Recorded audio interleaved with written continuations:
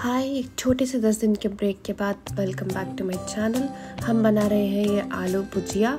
अभी से सारे वीडियोस रेगुलरली आएँगे तो प्लीज़ देखना।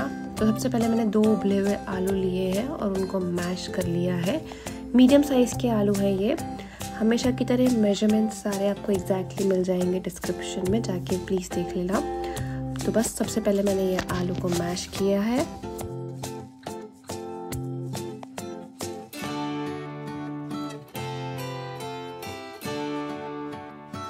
तो मैशर है ना, ये बहुत ग्रेटर या मैशर जो भी अमेज़ोन पे मिलता है बहुत ही काम का है, बहुत ही यूज़फुल है हैश ब्राउन वगैरह बनाने के लिए। तो जाके लिंक चेक करिए, मेरे डिस्क्रिप्शन में आपको मिल जाएगा, अगर आपको भी चाहिए तो।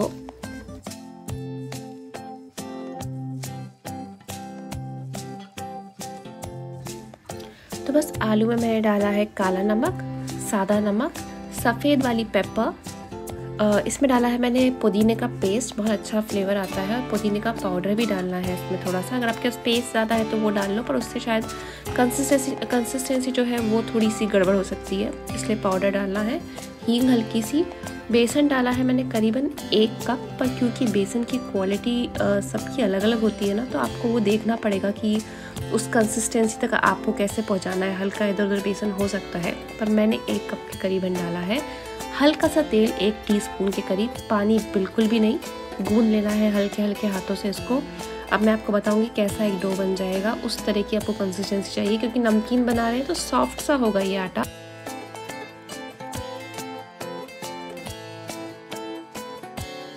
तो बस मैं थोड़ा सा और तेल डाल के करीबन एक और टीस्पून डाल के, उसको इस तरीके से एक अच्छा सा डो बना लेंगे। अब आप इसकी कंसिस्टेंसी देख लो। थिक नहीं होगा ये नमकीन बनाने के लिए, वरना वो निकलेगा नहीं ना मशीन के अंदर से। इसलिए एकदम सॉफ्ट सा डो है, एकदम लेकिन बिल्कुल पतला भी नहीं होना चाहिए। ठीक है तो इस तरह की कंसिस्टेंसी रहेगी।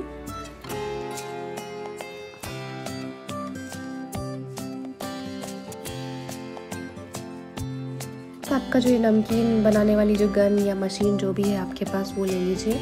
सबसे बारीक वाली जो डिस्क होती है ना, वो डालनी है इसमें, जो सबसे बारीक रहेगी। और बहुत इजीली निकल जाती है एक्चुअली क्योंकि ये डो इतना अच्छा बना है, आपका सॉफ्ट है तो बहुत आसानी से निकल जाएगा। बिल्कुल भी हैवी वर्क नहीं है।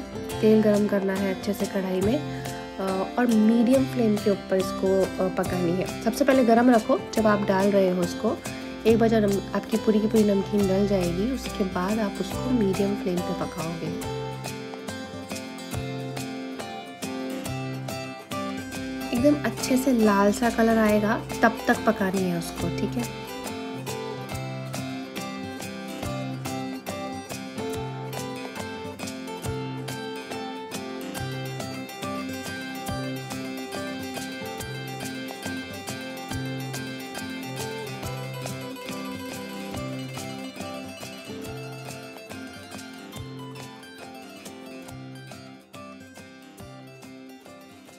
ये हो गया एक राउंड रेडी ये जो इतनी क्वांटिटी हमने बनाई ना, इसमें अच्छे से एक डब्बा भर के नमकीन बनेगी आपकी, बहुत सारी नमकीन बनेगी, क्योंकि एकदम बारीक है ना तो अच्छे से बहुत सारी नमकीन बन जाएगी आपकी एक बार में ही।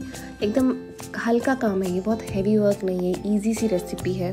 बाहर से लाने की जगह आप घर में बनाओगे तो हेल्दी तो मैं नहीं कहूँगी, लेकिन उसकी क्वालिटी बहुत अच्छी हो जाती है। आपका तेल अच्छी क्वालिटी का रहता है, मसाले अच्छी क्वालिटी के रहते हैं। देखो एकदम क्रिस्पी बिल्कुल बाज़ार जैसी बनी है। ज़रूर से बनाना, बताना कैसी लगी। Thank you so much bye bye